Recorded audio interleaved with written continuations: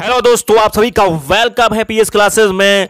दोस्तों, मैं लेकर के प्रेजेंट हो गया हूँ भारतीय राज व्यवस्था के अंतर्गत भारत का संवैधानिक इतिहास, मेरे प्यारे भाई बहनों अब अब की बार यूपीएसआई पार। तो दोस्तों, एक बहुत बड़ी बिग सीरीज़ ये चल रही है, लगातार आपको मिलती रहेगी। ज़्यादा से ज़्यादा लोगों तक शेयर करिएगा। अगर पहली बार आप मेरे चैनल को विज़िट कर रहे हैं तो मेरे प्यारे भाई बहनों प्लीज़ सब्सक्राइब कर लीजिएगा और राइट साइड में बेलाइकन के बटन को प्रेस कर दीजिएगा, ताकि सबसे पहले हमारी वीडियो आप तक पहुँच सके। आइए बात करते हैं पहले क्वेश्चन के सफ़र से। बी आर अंबेडकर और महात्मा गांधी के मध्य सन 1932 में हस्ताक्षरित पूना समझौता में प्रावधान था। बताइए मेरे प्यारे भाई बहनों भारत के लिए डोमिनियन स्थिति बनाए जाने का, मुसलमानों के लिए पृथक निर्वाचन क्षेत्र का, हरजनों के लिए पृथक निर्वाचन क्षेत्र का, या हरजनों के लिए आरक्षण सहित संयुक्त निर्वाचन क्षेत्र का।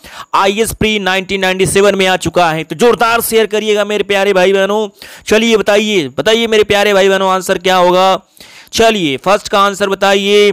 तो ये हरिजनों के लिए आरक्षण सही संयुक्त निर्वाचन क्षेत्र का डी ऑप्शन को हम सही लेते हैं। चलिए, जोरदार शेयर करिएगा। बहुत मज़ा आने वाला है इस सफ़र में।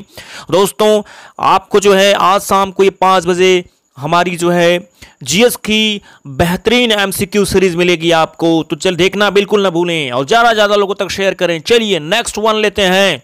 सूची एक को सूची दो के साथ सुमेलित कीजिए। और सूचियों के नीचे दिए गए कूट का प्रयोग कर सही उत्तर का चयन कीजिए। सूरत विभाजन सांप्रदायिक अधिनिर्णय, सर्वदलीय सम्मेलन, पूर्ण स्वराज का संकल्प। चलिए मेरे प्यारे भाई बहनों चलिए, बताइए, हमें क्या करना है? मिलान करना। सूची एक को दो से मिलान करना है। तो चलिए मिलान करते हैं। कूट में बी ऑप्शन सही होता है, एक का चार हो जाएगा। एक का चार का मतलब हो जाएगा सूरत विभाजन जो था 1907 में था। बी का हम लेते हैं, तीन हो जाएगा। सी का दो हो जाएगा और डी का जो है मेरे प्यारे भाई बहनों एक हो जाएगा। जोरदार शेयर करिएगा, बहुत मज़ा आएगा इस सेशन में। और कमेंट करके भी बताएगा कि कैसा लग रहा है सेशन। सब्सक्राइब नहीं किया तो प्लीज़ सब्सक्राइब भी कर लीजिएगा, मेरे प्यारे भाई बहनों मेरे नौजवान भाई बहनों चलिए आगे देखते हैं। नेक्स्ट क्वेश्चन लेते हैं। निम्नलिखित में से किस अधिनियम द्वारा भारत के गवर्नर जनरल को अध्यादेश जारी करने की शक्ति प्राप्त प्रदान की गई थी? चार्टर एक्ट 1833 भारत परिषद अधिनियम 1861 भारतीय परिषद अधिनियम 1892 या भारतीय परिषद अधिनियम 1909 यूपी प्री 1997 में ये प्रश्न आ चुका है। बताइए मेरे प्यारे भाई बहनों किसके अंतर्गत? तो ये था भारतीय परिषद अधिनियम 1861 के अंतर्गत। नेक्स्ट लेते हैं। सूची ए को तथा सूची दो के साथ सुमेलित कीजिए तथा नीचे दिए गए कूट से सही उत्तर चुनिए। अगस्त घोषणा, अगस्त पस्त्र, अगस्त प्रस्ताव, अगस्त संकल्प, प्रत्यक्ष कार्यवाही दिवस। बताइए मेरे प्यारे भाई बहनों क्या होगा? कूट का मिलान करना है। किसका मिलान करना है? कूट का। सूची एक को, सूची दो से मिलान करें। चलें, बताएँ। बताएँ मेरे प्यारे भाई बहनों बताइए।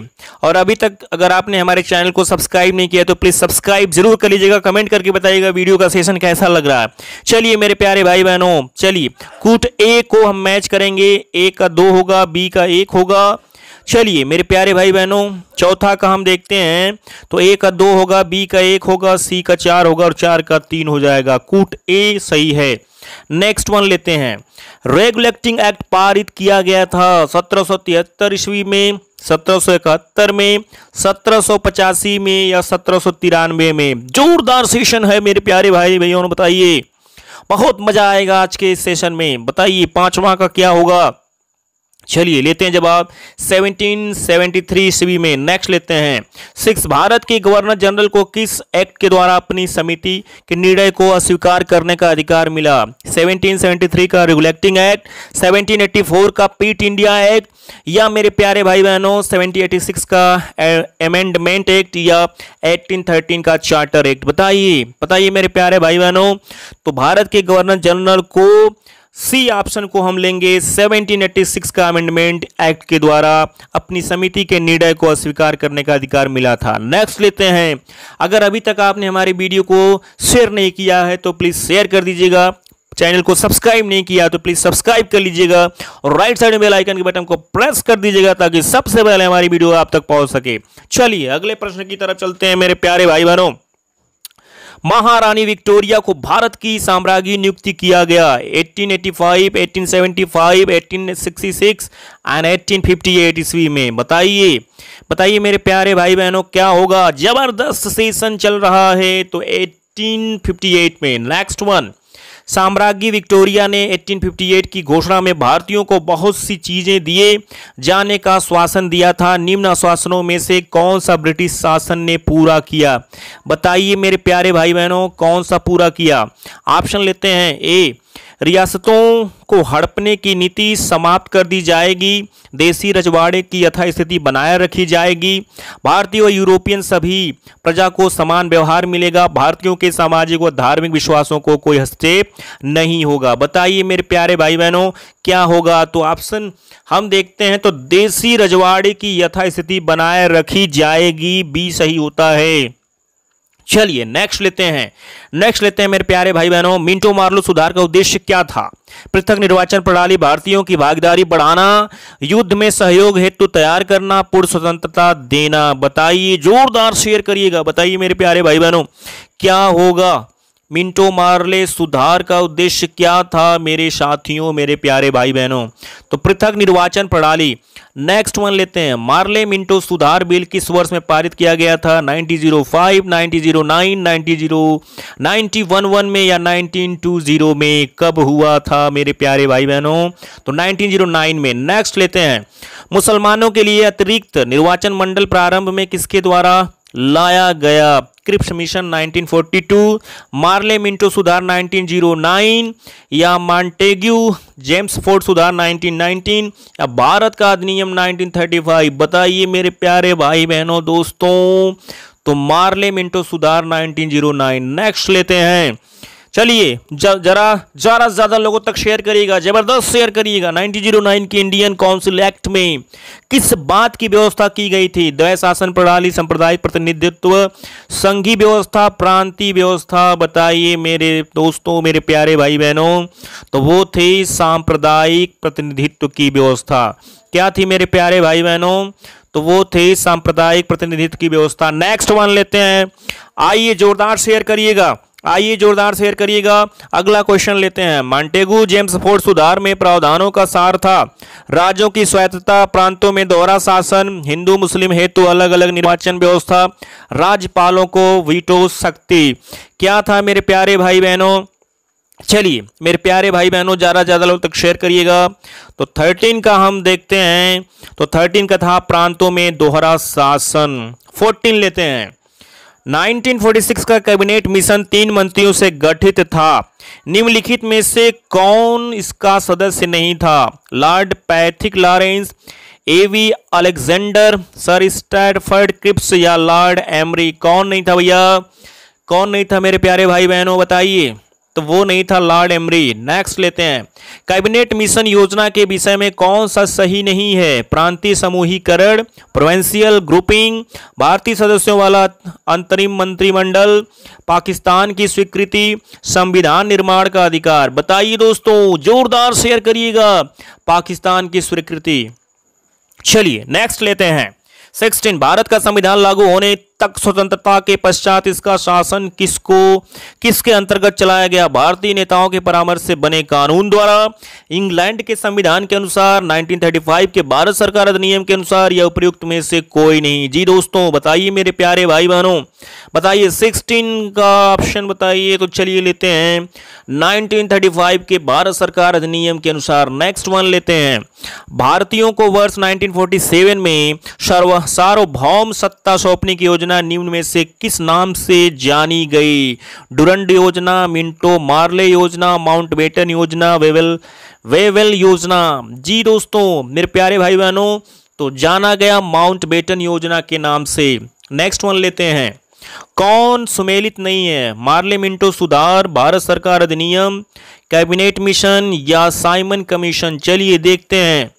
कौन सुमेलित नहीं है मेरे प्यारे भाई बहनों मेरे प्यारे भाई बहनों बताइए। तो इसमें साइमन कमीशन सही नहीं है, भारत का विभाजन। बाकी, मार्ले मिंटो सुधार सांप्रदायिक प्रतिनिधित्व सही है, भारत सरकार अधिनियम, स्वशासन, कैबिनेट मिशन, संविधान सभा का गठन। चलिए दोस्तों, अगर अभी तक भी आपने हमारे चैनल को सब्सक्राइब नहीं किया है तो प्लीज़ सब्सक्राइब कर लीजिएगा और राइट साइड में बेल आइकन के बटन को प्रेस कर दीजिएगा, ताकि सबसे पहले हमारी वीडियो आप तक पहुँच सके।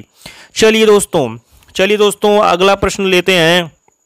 चलिए, मेरे प्यारे भाई बहनों, अगला प्रश्न लेते हैं। निम्नलिखित अधिनियमों को सही ढंग से मिलाइए। भारत सरकार अधिनियम 1919 और भारत सरकार अधिनियम 1935 मिंटो मार्ले सुधार 1909 भारत परिषद अधिनियम 1861 और अधिनियम 1858 चलिए दोस्तों, सूची एक को सूची दो से मिलान करते हैं।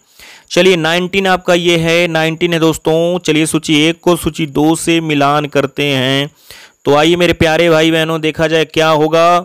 चलिए बताइए, क्या होगा मेरे प्यारे भाई बहनों तो कूट में बी लेंगे, ए का तीन हो जाएगा। ए का क्या होगा? तीन हो जाएगा मतलब भारत सरकार अधिनियम किससे होगा? प्रांतों में द्वय शासन, एक का तीन होगा। बी का एक हो जाएगा, सी का चार हो जाएगा, डी का दो हो जाएगा और ई का पाँच हो जाएगा। चलिए मेरे प्यारे भाई बहनों चलिए देखते हैं। आगे, चलिए अगला प्रश्न लेते हैं। ये रहा आपकी स्क्रीन पर। भारत की आज़ादी के समय इंग्लैंड में किस पार्टी की सरकार थी? Labour Party, Conservative Party, Congress या लिबरल पार्टी? कौन सी पार्टी थी भैया? बताइए मेरे प्यारे भाई बहनों कौन सी पार्टी थी? तो कौन सी पार्टी थी? आपका जवाब बताइए। तो पार्टी कौन सी थी? लेबर पार्टी थी। नेक्स्ट वन लेते हैं। 21 केंद्र में द्वय शासन किस अधिनियम के अंतर्गत स्थापित किया गया? 1909 के अधिनियम, भारत सरकार अधिनियम 1919 भारत सरकार अधिनियम 1935 भारत सरकार अधिनियम 1947 बताइए मेरे प्यारे भाई बहनों किसके अंतर्गत केंद्र में द्वय शासन किस अधिनियम के अंतर्गत स्थापित किया गया था? बताइए बताइए मेरे प्यारे भाई बहनों तो भारत सरकार अधिनियम 1935 नेक्स्ट वन लेते हैं। निम्न शब्दों पर विचार कीजिए। समाजवादी, प्रजा, प्रजातांत्रिक, सार्वभौमिक, धर्मनिरपेक्ष, सभी शब्दों को विचारानुसार क्रम से दीजिए। 22 का चलिए उत्तर लेते हैं। देखते हैं क्या होगा, मेरे प्यारे भाई बहनों मेरे दोस्तों। चलिए तो 22 का हम लेते हैं। क्या हो जाएगा? 22 का होगा ए, सी, ए, डी तथा बी हो जाएगा। नेक्स्ट वन लेते हैं। 23 किस अधिनियम की प्रमुख विशेषता प्रांतीय स्वायत्ता थी? 1935, 1919, 1904, 50, 1858 क्या था भैया? तेईस का आंसर क्या होगा? क्या था आंसर बताइए मेरे प्यारे भाई बहनों 1935 और आखिरी प्रश्न लेते हैं। भारत में सचिव का पद किसके द्वारा निर्मित किया गया था?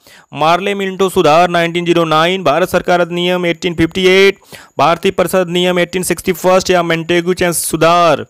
आइए दोस्तों बात करते हैं। तो इसमें जो सही होता है मेरे प्यारे भाई बहनों वो सही होता है भारत सरकार अधिनियम 1858 तो मेरे प्यारे भाई बहनों इस वीडियो को लाइक करिएगा। अगर अभी तक भी आपने मेरे चैनल को सब्सक्राइब नहीं किया है तो प्लीज़ सब्सक्राइब कर लीजिएगा। राइट साइड में बेल आइकन के बटन को प्रेस कर दीजिएगा, ताकि सबसे पहले हमारी वीडियो आप तक पहुँच सके। तो दोस्तों, ये शुरू हो गया है, बिगुल बच गया है। भारतीय राज व्यवस्था की लगातार आपको निरंतर सीरीज़ मिलती रहेगी, जो कि यूपीएसआई से लेकर सभी प्रतियोगी परीक्षाओं के लिए ब्रह्मास्त्र की तरह काम करेगी। तो दोस्तों, इस वीडियो को आप ज़्यादा ज़्यादा लोगों तक शेयर करिएगा।